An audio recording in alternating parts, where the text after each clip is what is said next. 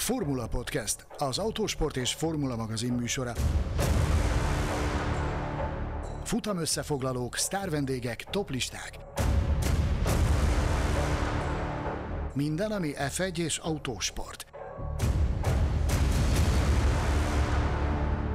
A Formula Podcast virtuális stúdiójában Mészáros Sándor és Gellér Figerkő.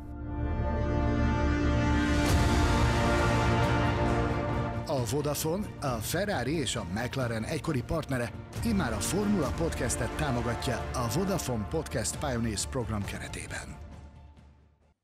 Megtörtént az első ütközés Lando Norris és Max Verstappen között a Formula 1-es osztrák nagydíjon, és ebből George Russell profitált a legtöbbet. Nagy szeretettel köszöntünk titeket a Formula Podcast osztrák nagydíjat értékelő adásában. Én Gellérfi Gergő vagyok, a virtuális stúdió másik oldalán pedig itt van velem Mészáros Sándor, akivel természetesen mindenek előtt a Norris Verstappen balesetről és annak lehetséges következményeiről fogunk beszélni, de az adást nem lehet nem a futamgyőztessel kezdeni, úgyhogy mielőtt rátérünk a hétvége fő témájára, szóljunk pár szót arról, hogy megszakadt a Mercedes történetének második leghosszabb győzelem nélküli sorozata az F1-ben, 19 hónap után nyertek újra a csillagosok. Az első, a leghosszabb sorozat ennél nagyjából 55 évvel volt hosszabb, ugye 1955 és 2012 között, Na, szóval lényeg, ami lényeg, hogy ebből az ütközésből George Russell tudott profitálni, hiszen ő volt az, aki dobogós pozícióban haladt, amikor összecsattant egymással Landon Norris és Max Verstappen, és nekem a hétvége egyik legaranyosabb sztoria az volt, amikor ugye a Mercedes részéről el, Toto Wolf elmondta, hogy egy rendkívül ostoba dolgot követett el, ugyanis örömében beleüvöltött a csapatrádióba, miközben Russell épp fékezni készült, ugye a Norris Verstappen ütközést követően, és ez akár Russell győzelmébe is kerülhetett volna és ugye Wolf úgy fogalmazott, hogy hát ilyen ostobaságot ő rég követett el, de hát szerencsére nem került Russell győzelmébe ez az örömteli rádióüzenet. És azt dobnám föl neked egy nyitó kérdésként, hogy szerinted az eddig is lendületben lévő Mercedes számára adhat-e még egy plusz löketet, hogy végre sikerült megszakítani ezt a, ezt a hosszú győzelem nélküli sorozatot? Szervusz, üdvözlöm a hallgatókat. Én úgy gondolom, hogy ez egy olyan kis dózis volt, amire nagyon nagy szüksége volt már a Mercedesnek. Ugye megjárták a, a poklok legmélyebb bugyrait az elmúlt időszakban, mindenféle kinyuk, pajuk, nehézséges problémájuk volt nekik az elmúlt időszakban, és egy ilyen győzelem, mint amilyen ez, akármilyen körülmények között is született, az bizony nagyon sokat tud jelenteni egy, egy szervezetnek, a szervezeten belül dolgozó munkatársak önbizalmának. Ugyanis, hogyha mérlegre teszed a dolgokat, igen, ehhez a győzelemhez kellett az, hogy Verstappen és Norris ütközön egymással és kivonják magukat a forgalomból, de hogyha ha mögé nézel, akkor azt látod, hogy Russell gyakorlatilag hibátlanul teljesített, az időmérő után volt neki egy, a Pemben elejtett egy olyan mondatot, hogy igazság szerint ők feláldoztak valamennyit a kvalifikációs teljesítményből a verseny teljesítmény oltárán, és abban reménykedik, hogy ez kifizetődő lesz. Nyilván a Red Bull-lal és a mclaren nem volt partiban, viszont amit, amit ezen kívül meg lehetett tenni, azt mindent megtett, mindent jól csinált, mindent hibátlanul csinált, és szerintem megérdemelte, nyerte meg a futamot így, hogy, hogy ez a, a két nagy kakas az eltűnt előle. Én úgy gondolom, hogy, hogy, hogy megérdemelte nyert futamot Russell, és hát a Mercedesnek igen, nagyon-nagyon-nagyon-nagyon kellett nekik egy ilyen győzelem, és ez egyben azt is mutatja, hogy nyilván még mindig nem ott tartanak, ahol kellene tartani nekik, hogy az élmezőny, közvetlen élmezőnyel boxoljanak, de, de már ott vannak az elmúlt időszak fejlesztéseinek köszönhetően, hogyha az élbolyban valami történik, akkor, akkor le tudnak csapni a lehetőségre. Igen, és az elmúlt heteket nézve is azt gondolom, hogy nem nevezhető érdemtelennek Russell sikere, hiszen nagyon-nagyon jó formában van Kanadában, ugye polpozíciót szerzett, és Végül csak harmadik lett, amiben saját hibái is benne voltak, de hát azon a versenyen gyakorlatilag nem volt versenyző, aki az élmezőnyben ne hibázott volna. Spanyolországi rajtja az az év egyik legemlékezetesebb mozzanata, ott ugye végül a dobogóról a a rosszabb taktika miatt szorult le. És hát most meg ugye Wolf is elmondta, hogy a győzelemhez egyelőre még a Mercedes számára kell az, hogy, hogy másoknak bal szerencséje legyen, ebben az esetben ugye egy ütközés történjen az élen, de hát ott kellett lenni a harmadik pozícióban, és, és nem a Ferrari volt ott a harmadik pozícióban, és nem is Oscar Piastri, bár rá majd ugye külön kitérünk még, hogy miért nem, de ugye most fizetődött ki igazán az, hogy a Mercedes megelőzte a Ferrari-t, hiszen így ők tudták a lepattanót behúzni, és nem a Ferrari. No, és akkor beszéljünk magáról az ütközésről, aminek a lepattanóját be kellett húzni.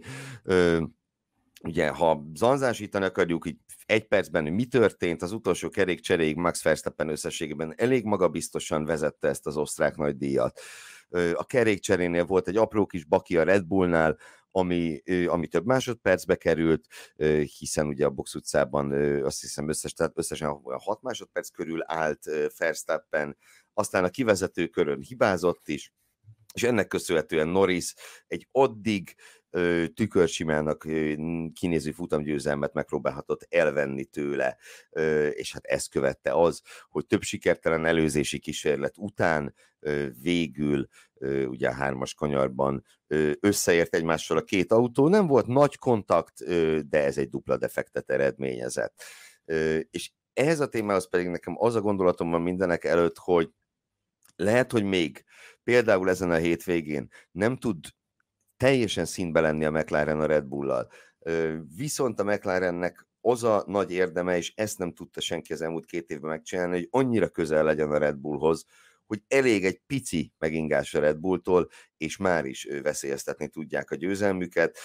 Ugye erről beszélt Christian Horner Barcelona után egy héttel ezelőtt, hogy tökéletes teljesítmény kell a Red Bulltól ahhoz, hogy nyerni tudjanak immáron, és most nem volt meg a tökéletes teljesítmény, meg is lett az eredménye.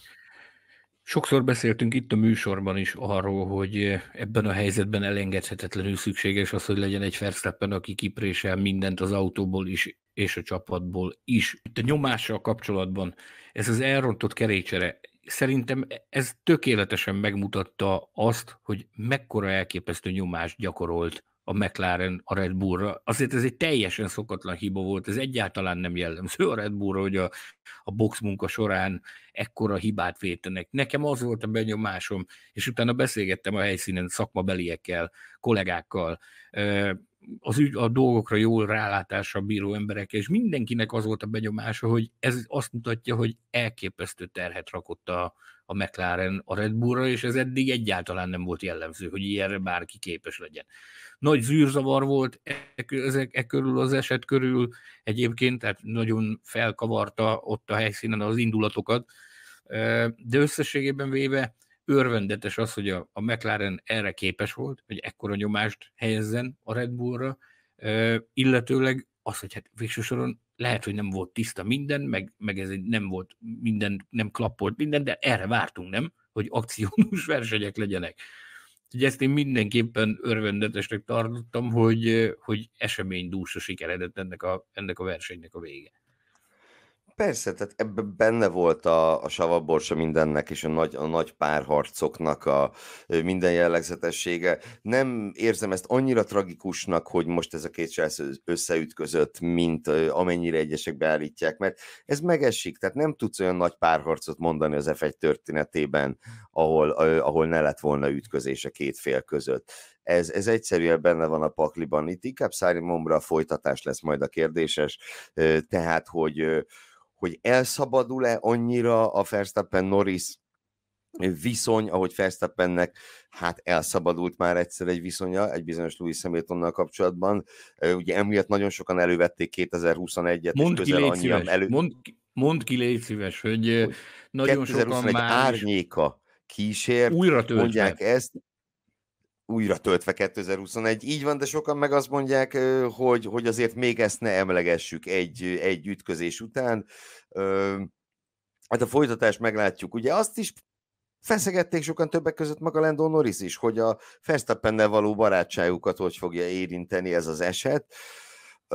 Ugye Norris azt mondta, hogy ha Verstappen elismeri neki a, az, hogy ő hibázott, akkor, akkor rendben vagyunk, de hogyha ő úgy azt fogja mondani, hogy nem, akkor nem leszünk rendben.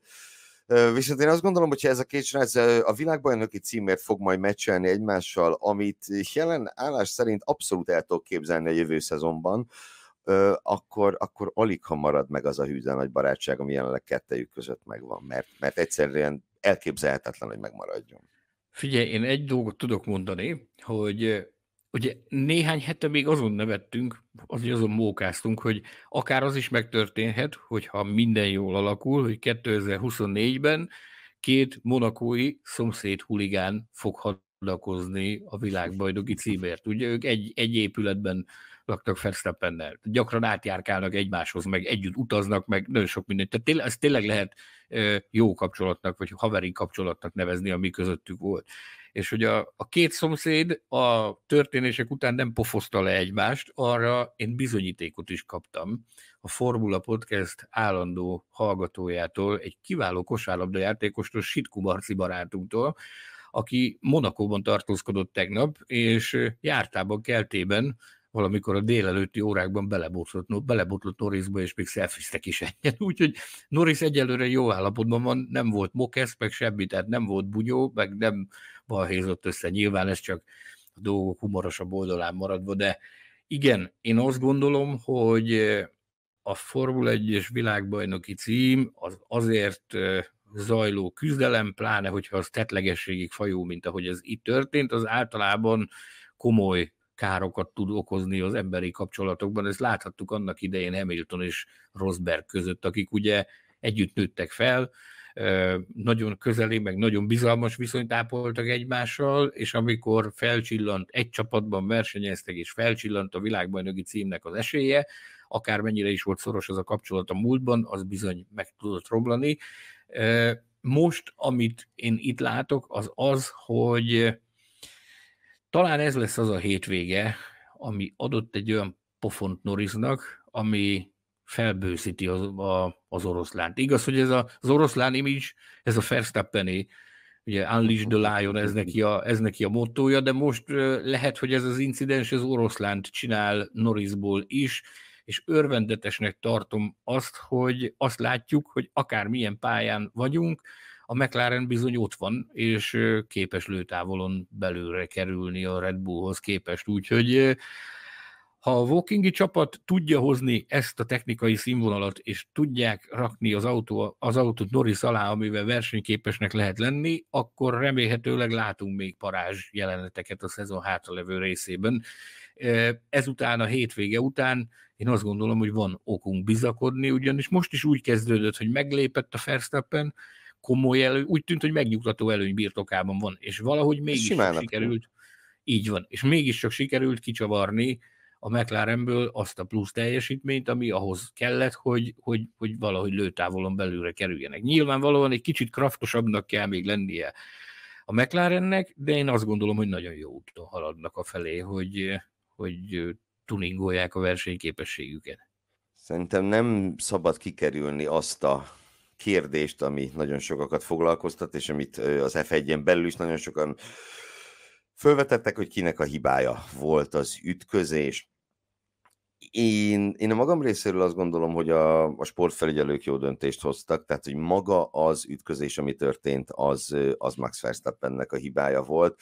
Viszont szerintem a legjobban Helmut Márkó fogalmazta meg, hogy itt az egész párharcot tekintve mindketten szükségtelenül kemények voltak, és és ugye Márkó azt is aláhúzta, hogy a, a, a Red Bull lehet, hogy elkövetett némi hibát azzal, hogy nem vették figyelembe azt, hogy Lando Norris 5 másodperces büntetést fog kapni gyakorlatilag borítékolhatóan. Persze a pillanat hevében alig ha lehet elvárni azt a Red Bulltól, hogy azt mondja Verstappen fülére, hogy engedd el és menj utána, pedig az akkor ugye valószínűleg egy futamgyőzelmet jelentett volna. De egy összességében hogy én azt gondolom, hogy a sportfelügyelők döntése jó volt, és és ugye fölmerült elég sokakban az igazságtalansága annak, hogyha itt Verstappen találták bűnösnek, akkor, akkor unfair az, hogy ő mégis 10 ponttal növelte az előnyét a bajnokságban norris szemben, hiszen ugye ő célba ért az ötödik helyen, Norris meg nem. De ugye ez az a helyzet, ami nagyon sokszor elhangzott, nagyon sok eset kapcsán, hogy a sportfelügyelők nem a következményt büntetik, hanem magát a cselekményt. És maga a cselekmény ami a kontaktot kiváltotta, én nem gondolom, hogy súlyosabb lett volna annál, mint amit, amit Verstappen kapott, kapott érte, mert ha ez a középmezőnyben történik, akkor, akkor mindenki csak legyint rá, hogy oké, okay, 10 másodperc, menjünk tovább. És amíg ez az irányelv, hogy nem a következmény büntetik, addig én azt gondolom, hogy ez egy jó döntés.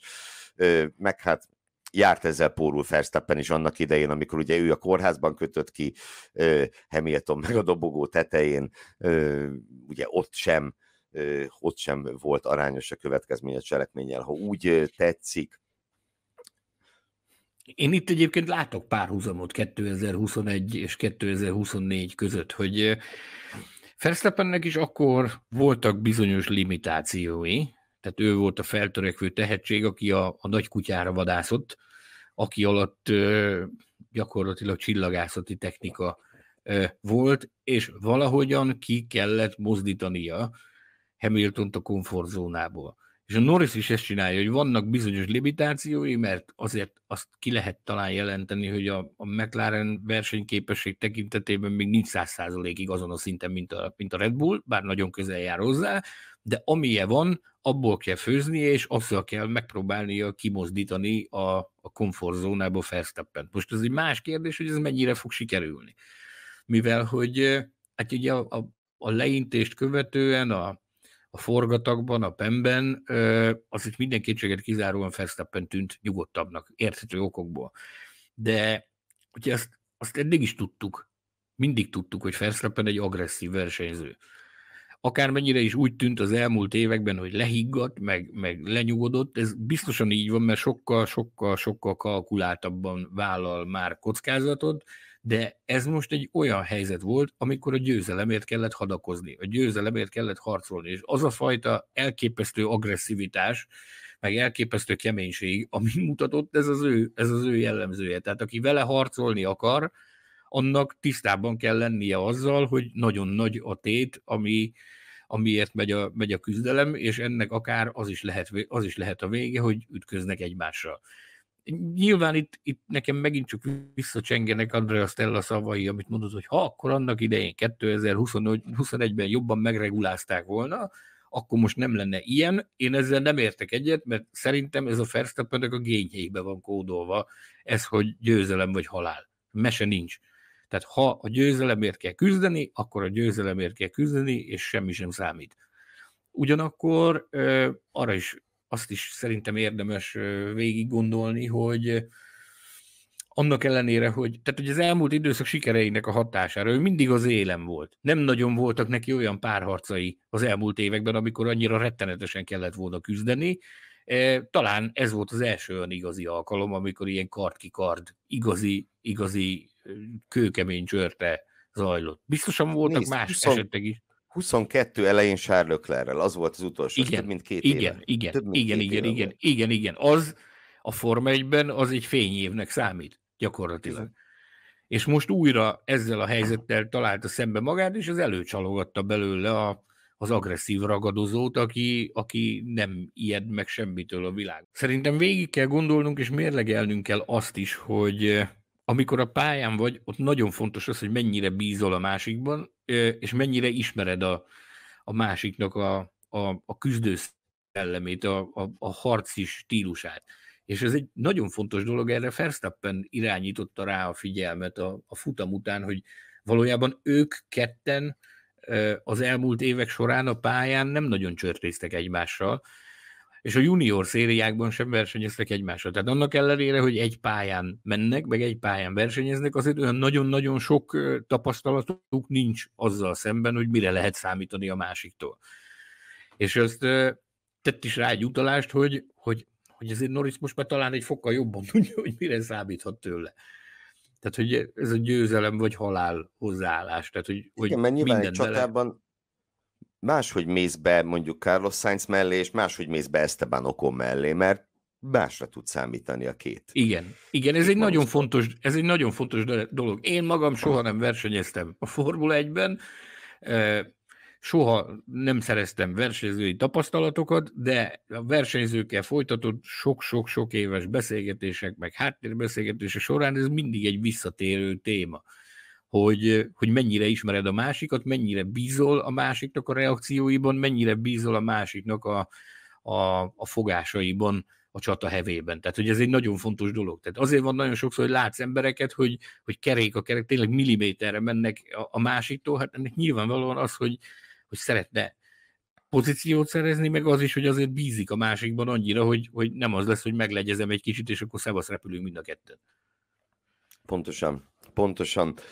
No, hát én azt gondolom, hogy erről az esetről biztosan lesz még szó, és azt is gondolom, hogy a hétvége pillanata díjat azt most itt időnek előtte kioszthatjuk ennek az esetnek. Viszont mielőtt a többi díjra rátérnénk, három-négy percben azt arra kérnek, hogy beszéljünk még egy incidensről, ami nem a pályán, hanem azon kívül zajlott, egy másik Verstappen, jelesül Jos Verstappen, valamint Christian Horner között. Ugye azok kedvére, akik esetleg lemaradtak róla, nagyon gyorsan összefoglalom, ugye a legendás versenyautók parádéján vezetett volna tervei szerint Jos Verstappen a hétvégén a Red Bull ringen, és ezt legalábbis az ő állítása szerint Christian Horner megvétózta, és még egyéb vádaskodások is elhangoztak. Mondjam a vádakat? Erről... Mondjam a vádakat? Hát, több, hát többek között, hogy a fékjeit szabotálta volna. Azzal kezdődött, Horner. Azzal kezdődött, hogy azt hallottuk először csütörtökön, hogy Jos Verstappen azt hallotta, valakitől, hogy Christian Horner kérdéseket vetett fel azzal kapcsolatban, hogy az évelei történések miatt, azok fényében miért akarja a Red Bull anyavállalata éppen őt versenyautóba ültetni ezen a legenda parádén, és ez neki nem tetszik, és emiatt mondta le a szereplést. Aztán péntek reggel jött a következő változat, az úgy hangzott, hogy nem csak, hogy rosszallását fejezte ki, tehát Verstappen, idősebb Verstappen ö, szemszögéből ö, nem csak az volt a probléma, hogy Horner a rosszallását fejezte ki, de ő vél, vél, úgy vélte, olyan információk jutottak a birtokába, hogy állítólag Horner lépéseket tett annak érdekében, hogy erről a legenda parádéről készülő videós produkcióban csak David Coulthardra fókuszáljanak, az ő autójára pedig nem. Majd ezt követően jött a, az abszolút bomba, amikor már azzal vádolt, tehát olyan vádak hangzottak el, hogy Horner állítólag szabotálni akarja az ő autóján a fékrendszert, és, és így akarják őt pályára küldeni. A végén már ez hangzott el, hogy ezért nem vállalta a szereplést, úgyhogy egy dolog Azért biztos, hogy ez... E, a holland sajtóban megjelentek ilyen nyilatkozatok, amikben amikben Értem. ez szerepelt. Ez nem az én tisztem, hogy ezt, ezt megítéljem, hogy ez hogy hangzott el, vagy mint hangzott el. Én magam beszéltem Jos Verstappennel ezen a hétvégén, nem tett nekem erre utalást, ezt tudom mondani. Tehát, hogy, hogy szóba került ez a téma, de, de nem hangzott el ilyen. Ennek ellenére a holland sajtó ettől volt hangos, meg utána a, a nemzetközi sajtó is. A, a sommája ennek az egész históriának az továbbra is az, hogy bár úgy tűnt nekünk, hogy a, vagy úgy tűhetett a külvilág számára, hogy a, az év elején, ugye január végén, február elején kirobbant Horner ügy, mint hogyha elkezdene csendesedni a, az elmúlt időszakban. Ez, ez, ami kiszivárgott belőle a külvilágba, az valóban egy csendesebb dolog volt, amiatt, hogy Jos Verstappen kevesebbet volt a helyszínen. Most viszont úgy tűnik, hogy azért a, a hamu alatt még mindig ott van a parázs, és azért nincs, nem honol teljes béke a Red Bull táborában, bármennyire is igyekeztek az elmúlt hetekben ezt mutatni a külvilág felé, hogy itt minden rendben van. Nagyon sokan ebből azt a következtetést vonták le, hogy ez biztos oda vezet, hogy Max Verstappen távozik a Red Bulltól, és átteszi a székhelyét a Mercedesbe. Az is egy érdekes storyline volt, ahogy ezt kezelte idősebb Verstappen, hogy kiültek a Mercedes motorhomnak arra a pontjára, amit a pedokból is tökéletesen, ugye ilyen üveghomlokzatú motorhomjuk volt itt, olyan helyre ültek, hogy ott biztos, hogy mindenki lássa, hogy ők ott nagyban beszélgetnek Otto Wolffal.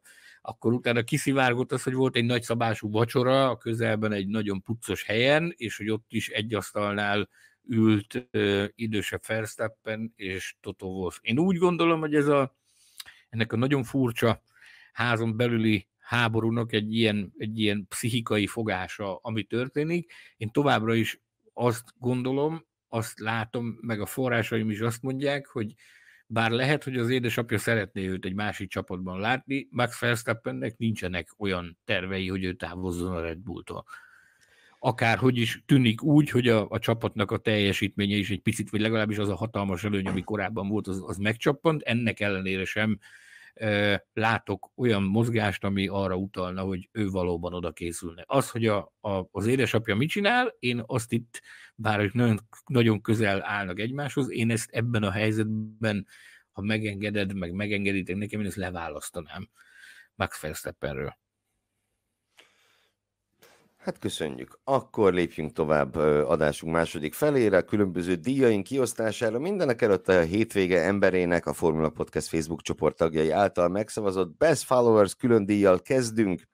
Ennek a szavazásnak, az olvasói szavazásnak, olvasó, hallgató, követő, kinek hogy tetszik. Szóval a harmadik helyén Landon Norris végzett, a második helyén az ő csapattársa Oscar Piastri, a hétvége emberének pedig Nikó Hülkenberget választottátok, amit én nagyon-nagyon nagy örömmel láttam. Ugye azt a Nikó Hülkenberget, aki ö, a Q3-ba jutott a házszal, és a hatodik helyen végzett, ráadásul úgy, hogy a hajrában Sergio perez tudta maga mögött tartani, sőt nem csak maga mögött tartani, hanem az utolsó körben ö, hát kicsit a hintába ültetve visszaelőzni őt, és ezzel Hülkenberg 2019 óta a legjobb Formula 1-es eredményét érte el. Szívből gratulálunk neki, és fölmerült a neve számomra is a hétvég emberének jelöltjei között, de a mi választásunk végül arra az Oscar Piastrira esett, aki két második helyet távozott Spielbergből. A sprinten ki tudta használni csapattársa Lando Norris kisé túl optimista előzési manőverét, és utána pedig maga mögött tudta tartani Norriszt. A futamon pedig azt követően, hogy az időmérőn hát mennyivel, nem tudom, egy centivel lépte át a pályahatárokat, azt mondtam tegnap a srácoknak, hogy nagyjából annyival lépte át a fehér vonalat, mint amennyivel Lukaku lesen volt azon a bizonyos góljánál, amikor a tértkalácsa fele belógott a vonalon.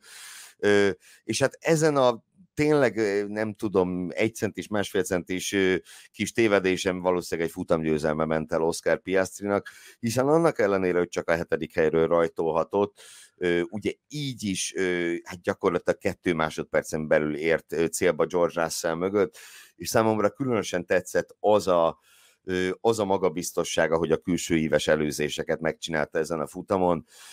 Összességében én azt gondolom, hogy ha az egész hétvégét nézzük, akkor mm, akkor mind, mind Verstappen, mind Norris követett el olyan hibát, hibákat, nyilván Verstappen esetében az ütközés, ami miatt nem nem lehet őt a hétvég emberének jelölni, úgyhogy Oscar Piastri szerintem először vagy legfeljebb másodszor kapta meg tőlünk ezt az elismerést, és gondolom Mark Webber is ezúttal pozitív hangulatban zárta a hétvégét. Nagyon jó hangulatban volt Mark Webber. Én azt gondolom, hogy Piastri meg is tett mindent annak érdekében, hogy, hogy jó hangulatban legyen. Én csak méltatni tudom, én többször is tettem rá egy utalást a műsorban, hogy én a jövő egyik legnagyobb ígéretének tartom Oscar Piastrit. Nagyon imponál nekem az, amit, ahogyan ő kezeli a versenyzést, meg amilyen éretten teszi a dolgát a fiatal kora ellenére, és időről, időre, idő, időről időre rá is szolgál arra, hogy a, a jövő egyik nagy egyéniségének tartjuk őt, én azt gondolom. Webberről egy gondolat, e, belefér egy kis személyes? Hogy látod? Persze, persze. Főleg, hogy én tudom a sztorit, ez szerintem bőven belefér. Péntek reggel lestoppolt, és jelezte, hogy öreg, fogyni kéne. ez, azt mondta, hogy egy, egy, egy kicsit kell leadni a súlyból, oké, ez nem olyan egyszerű, mondom, én az a kategória vagyok, aki a levegővételtől is képes ízni. Mondta, tudom milyen ez, tudom milyen ez, légy nyugodtan, de rajtad fogom tartani az ebben. Mondom, jó, de akkor adjál valami tanácsot, hogy, hogy hogyan csináljam. Mi a Webberi titok? Mi a Webberi diéta? Azt mondta, hogy reggelre be kell bikáznod magad, azt mondta, akkor sokat. Ebédre kevesebbet, vacsorára minimálisat, meg mozogni kell, mozogni kell, mozogni kell. Mondom, jó, akkor de mondom, mi a deadline a vacsorára? Azt a 5 óra. 5 után nincs kaja, nincs étel. Azt, és akkor ezt próbáljuk meg, akkor néhány hét múlva csekkoljuk, hogy mi az eredmény. Mondta neki, hogy oké. Okay. Másnap megjelent, rám nézett, kacsított egyet, azt mondta, hogy még no good. Utána egy, egy nap alatt, egy nap alatt nincs azt, ok, azt oké, okay, csak jeleztem, hogy ezt így folyamatosan csekkolni fogom. Mondtam, már mérhetetlenül hálás vagyok érte, de beszéljük akkor egy kicsit Piastriról is, és akkor beszélgettünk arról, hogy hát azért ott kemény munka zajlik Piastri körül, az a szent igazság. És ennek én azt gondolom, hogy látszik is az eredménye, és én záró gondolatom Piastri az pedig az, hogy, hogy azért is kiárt már neki egy ilyen hétvége, mert mert azért ő többször volt, többször volt nagyon bal szerencsés az idei szezonban. Ugye amikor Miami-ben ő, csapattársa futamot nyert, akkor az ő versenyét tönkretette a safety car időzítése, pedig addig ő volt jobb helyzetben Norrisnál, aztán ugye koccantak Sainz-szal, Imolában egy olyan feltartás miatt sorolták hátra az időmérő után a második rajthelyről, amiről igazán nem tehetett.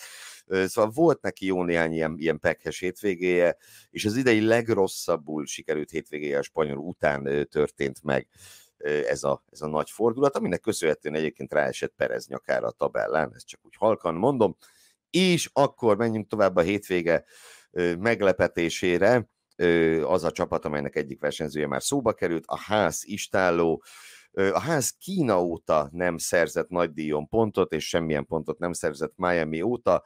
Ehhez képest most itt egy egyetlen futamon behúztak annyit, mint tavaly az egész szezonban gyakorlatilag. Ugye Hülkenberg a hatodik, Magnussen pedig a nyolcadik lett. És én azt gondolom, már az időmérőn is látszott, hogy a ház most rendben van, és Hülkenberg kilencedik rajthelye az nem egy nem egy ilyen kiszaladt eredmény volt, hanem ő, hanem ő erőből jutott a Q3-ba, és a versenyen pedig elképesztően jól, jól néztek ki a házok. Már ugye egy pozíciót köszönhettek ők a Verstappen Norris ütközésnek, de hát hogyha 7-9-ben érnek célba, akkor se lett volna semmi oka panaszra. Ugye két évvel ezelőtt ugyanitt Ausztriában szerzett a ház utoljára ennyi pontot egy hétvégén, akkor Mick Schumacher lett a hatodik, és szintúgy Kevin Magnussen a nyolcadik és azt is megnéztem, hogy 19 eleje óta, 5 és fél éve, összesen kétszer végzett a ház ilyen magas pozícióban, mint most Hülkenberg hatodik helye, tehát ez egészen, egészen ritka jó eredmény a részükről, és hát ugye tényleg több, mint a duplájára növelték az idei pontjaikat, így ha az RB még nincs is közvetlen lőtávolságban, de az Alpint az alaposan leszakították maguk mögött. Örvendetes volt látni azt, hogy jók voltak a házok ezen a hétvégén. Hülkenberg szereplés az különösen a vasárnapi, hát az egy egyenesen fenomenális volt. Érdekességként mondom, hogy nem mutatta nagyon magát, de jelen volt a hétvégén Haas is, aminek egyszerű oka van. Forrásaink szerint pilóta bejelentés készül, a ház istálónál, ha minden igaz, akkor szerdán vagy csütörtökön érkezhet a megerősítése annak, hogy Oliver Berment igazolják Nico Hülkenberg helyére. Ez egy eléggé rosszul őrzött titok Form 1 berkekben már jó ideje, ugye Berman brit, a brit nagy díj következik, ez pedig egy remek alkalom arra, hogy egy pilóta bejelentést eldurrantsanak a házasok, úgyhogy várjuk az ezzel kapcsolatos megerősítést hivatalos formában, amely azt hallottam a tervek szerint szerdán vagy csütörtökön érkezik, várjuk, figyelünk, annak pedig örülünk, hogy a házok jó szerepeltek. Azért jó irányba haladnak náluk jelen pillanatban a dolgok, én azt látom. Igen, egyébként ugye az előző, ez a pont nélküli öt nagy díj sem volt teljesen eredménytelen. Ugye az öt nagy díjból Hülkenberg négyszer lett 11 majdnem pontszerző. Tehát ez is ezt mutatja, hogy nem nem a 16-8. helyen kullogtak, hanem a pontzóna körül, gyakorlatilag a monakói kettős kiesés leszámítva mindig. Mm, de hát, és ami, ami most ezen az öt hétvégén nem jött össze, az most így szépen egyben összejött nekik. Én azt hallottam félfüllel, ott, hogy legyen egy kis pusborgás light itt. Én azt hallottam, hogy némi nemű vita van a csapatvezetésben azzal kapcsolatban, hogy ki legyen Berben csapattársa. Ugyanis ö, olyat hallottam, hogy Ginház a gazdaságosságot szem előtt tartva ö, egyáltalán nem tartaná elképzelhetetlennek azt, hogy Magnussen maradjon. Ugyanakkor a hozzám eljutott információk szerint Ajao Komatsu ő teljesen meg van győződve arról, hogy okon lenne számukra az ideális választás. Úgyhogy valószínűleg ház úr európai látogatása során ebben a témában is boxolnak egy kicsit az idei évtől hivatalban levő csapatfőnökkel. Hm. Hát én most nem mondom meg, hogy melyiküknek adok igazat, erről majd máskor fogunk beszélgetni, következzen a hétvége csalódása, hát akiknek mostában nem nagyon sikerülnek a dolgok, ez pedig az Aston Martin istáló, akik hát újabb nullázást hajtottak végre, és az egész hétvégén elmaradtak mindenfajta várakozástól. Ugye se a Q, se az SQ3-ba nem tudtak bejutni, Különösen kínos volt a, a rendes időmérő, egy 15-17. rajt helyett sikerült összepakolni, ugye Alex Albon választotta szét egymástól a két Aston Martint, hát a szezon elején nagyon-nagyon nem így néztek ki a dolgok, ráadásul ugye Alonso a sprinten kiszorították a futamon, ő kapott büntetést, teljes, teljes kagyfasz volt az egész hétvégéje az Aston Martinnak, és, és mindezt úgy, hogy a, a pontszerzésre egy ilyen szikrányi reményt se látszott az egész hétvégén, és nekem ez volt a legsokkolóbb, hogy nem nagyon láttál olyan forgatókönyvet, hogy ezek pontot szerezzenek valahogy. El vannak veszve ismét, ami a jó hír ezzel kapcsolatban az, hogy tavaly is láttunk egy ilyen periódust. A legjobb az lenne az ő szempontjukban nyilvánvalóan, hogyha nem lenne ilyen, hogy eltévednek az alagútban. Tavaly is megtörtént velük, aztán a végére valahogy csak-csak kitaláltak belőle. Most én úgy érzem, hogy egy picit jobban el vannak veszve, mint ahogy egy évvel ezelőtt ilyenkor voltak, és akkor is úgy volt, hogyha felidézed magadban, hogy megtörtént a megtorpanás, utána egy ideig stagnálás volt, meg mentek lefelé egy gödörnek a mélyére, majd onnan, mielőtt, amikor elérték a gödör mélyét, akkor reportáltuk azt, hogy Alonso is idegesnek látszik, és a nagy ember is idegesnek látszik, és akkor utána, amikor megtörtént a nagy asztalra csapás, akkor indultak meg fölfelé a szezon végére. Na most ez most ez a folyamat ez jóval korábban elkezdődött. Én azt gondolom, hogy sőt, tudom, mert hallottam róla, hogy meg láttam például. Alonso, Alonso most már látható az, hogy nem jó kedvű egyáltalán. Kifejezetten, kifejezetten rossz kedvű, a testbeszéde Furcsa is arra dolgokat mond furcsa dolgokat mond, meg a testbeszéde is arról árulkodik, hogy mérhetetlenül frusztrált. Én azt gondolom, hogy van is oka rá, hogy elégedetlen legyen. Ugyanakkor azt is hallottam, Silverstone körüli forrásokból, hogy a nagy ember is most már eljutott a szint, arra a szintre, hogy most már nagyon ideges. Tehát, hogy hmm. sokat mond, sokat mond az, hogy Barcelonában sem láttuk, és itt ezen a hétvégén sem láttuk. Ez, ez, Idegességében ez... gyorsan szerződést hosszabbított a fiával, ezt azért húztuk. Igen, tehát nincs, nincs jó kedvében a nagyember sem, és alózó sem. És hogyha lemodellezzük a tavait, akkor tavaly egy ilyen után indultak meg fölfelé.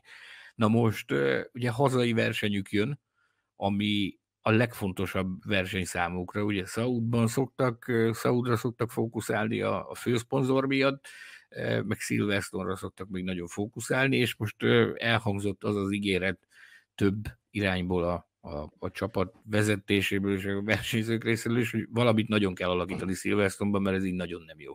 Más kérdés az, hogy ezt hogy tudják megoldani ennyire rövid idő alatt. Egy hét áll, sőt még egy hét sem áll rendelkezésre, nagy csodák nincsenek. Az egyik legérte, legérdekesebb kérdése lesz a, a hétvégén esedékes brit nagy díjnak az, hogy mire jut az Aston Martin erről a holdpontról. Hát ezt magam is így gondolom. A hétvége pillanatát ugye már alaposan kibeszéltük, az első Verstappen Norris ütközéssel, ütközettel, és akkor következzen a hétvége pusmorgása. Kérlek, Sanyi, a legizgalmasabb pedokban begyűjtött csipet, kéket ismertes nekünk. Egy-két csipet-két már itt említettem a műsorban. Én maradnék most a Lawson témánál, amiről a, a Pitbull pluszos helyszíni videóban már beszéltem.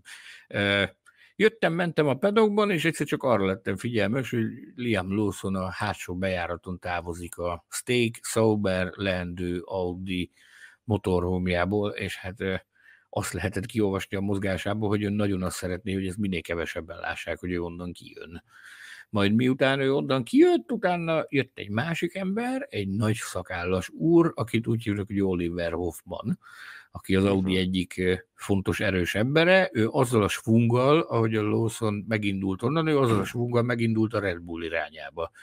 És hát azért látva, halva azt, hogy milyen erőfeszítéseket tesz az Alpin Carlos Sainz megszerzése érdekében, és tudva azt, hogy az Audi első számú választása Carlos Sainz, meg az, hogy Yuki Tsunoda volt, akiről már lemaradtak, itt az emberbe óhatatlanul kattant valami, hogy hoppá, itt könnyen előfordulhat, hogy talán Lawson az egyik kiszemelt arra, hogy Nico Hülkenberg társa legyen. Na most mit csinál ilyenkor a helyszínen tartózkodó újságíró? Elkezd beszélgetni, meg elkezd menni az információ után.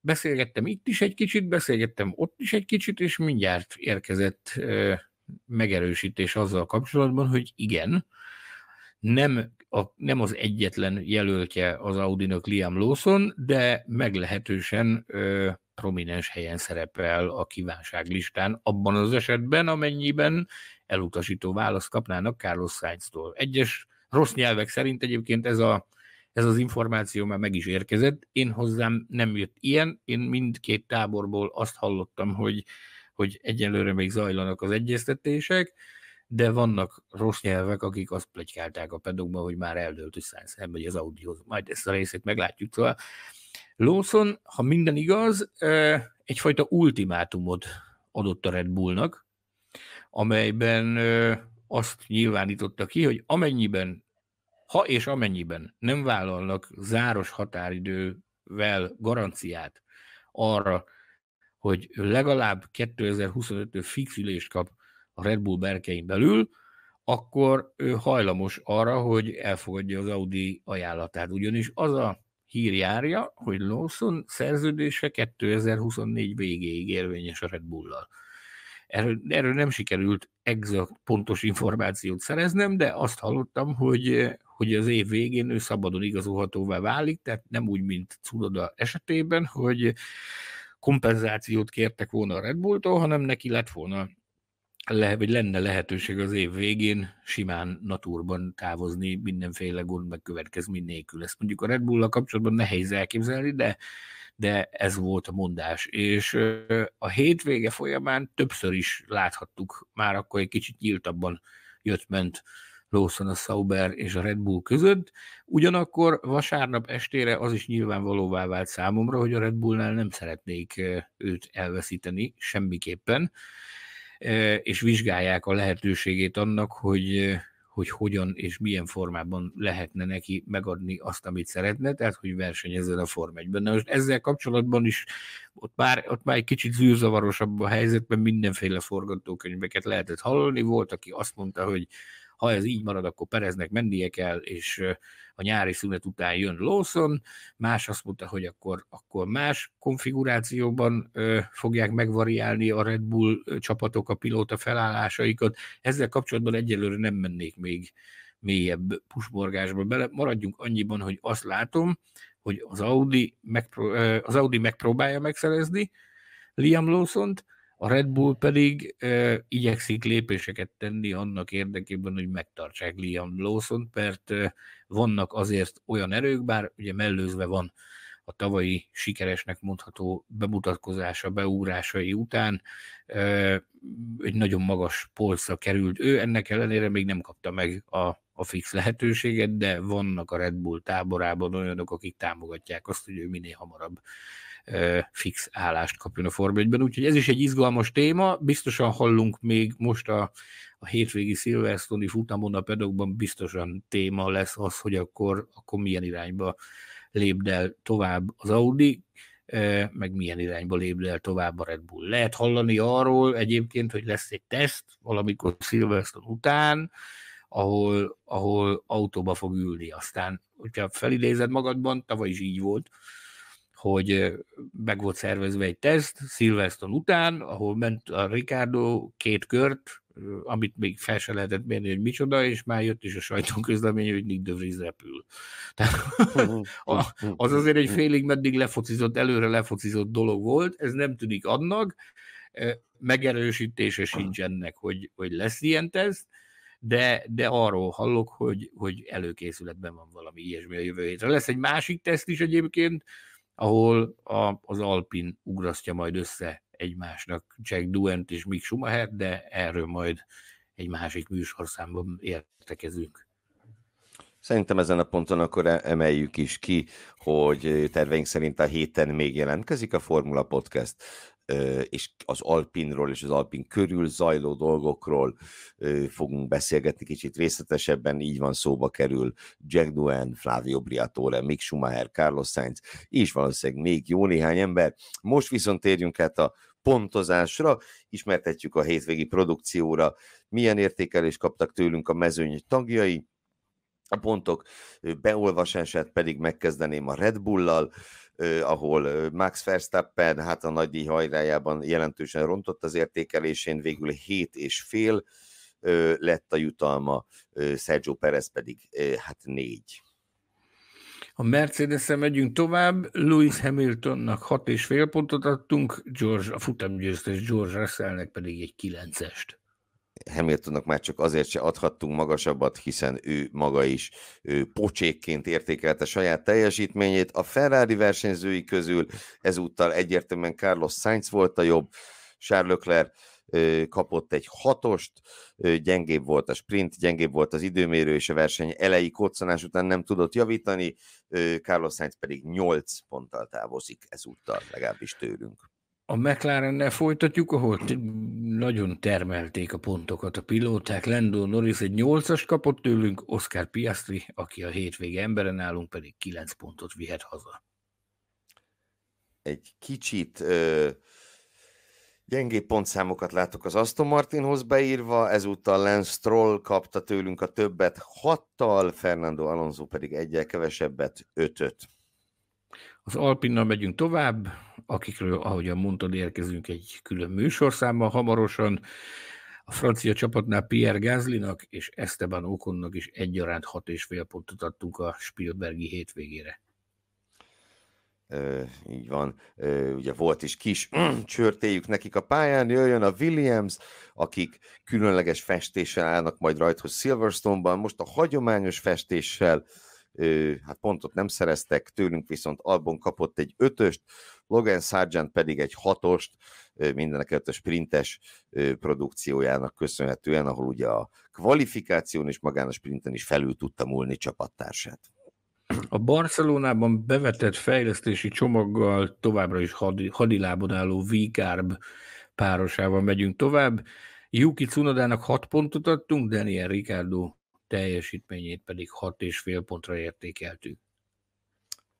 Jöjjön a Zauber, újabb ö, szürke és semmilyen hétvége, Joe számára újabb időmérős utolsó hely, Joe négy pontot kapott, és az egyébként szintén nem sok, nem sok vizet kavaró, zavaró, Bottas pedig ötöt.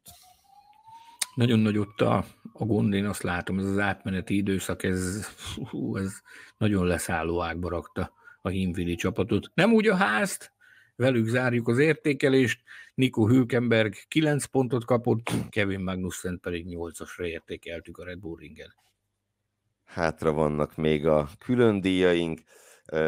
Én a hétvége vaddisznója külön díjat szeretném felajánlani Fernando Alonso-nak, aki ugye Joe-t gyakorlatilag kipattintotta a pályáról a verseny egy pontján, és, és be kell vallanom, hogy és ezzel tényleg nem, nem Strollt akarom bántani, de az első gondolatom az volt, hogy Stroll mit csinál már megint, és aztán láttam, hogy oppá, ez, ez most nem Lance Stroll volt, hanem a másik Aston Martin.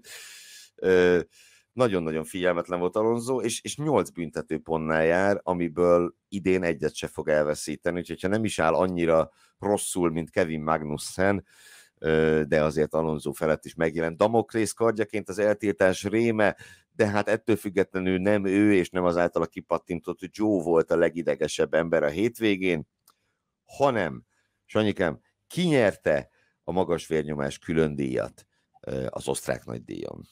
Úgy döntöttünk, hogy Lando Norrisnak adjuk ezt a kétes hírű trófeát, a magas vérnyomás külön díjat, mert hát azért a két ö, ideges ember közül minden kétséget kizáróan Doris tűnt idegesebbnek a, a PEM-ben. megcsipkedte Verstappent keményen, odaszólogatott neki, és hát megjegyezte azt is, hogy ha azt akarja, hogy a barátság az megmaradjon, a bromance megmaradjon, ahhoz az kell, hogy el kell ismernie, hogy ő hibázott. Úgyhogy én azt gondolom, hogy jó helyre kerül, mert nem hinném, hogy volt bárki, aki magasabb vérnyomással járkált vasárnap délután a Spielbergi pedagógban, mint Lando Norris. Hátratett kézzel fel, alá.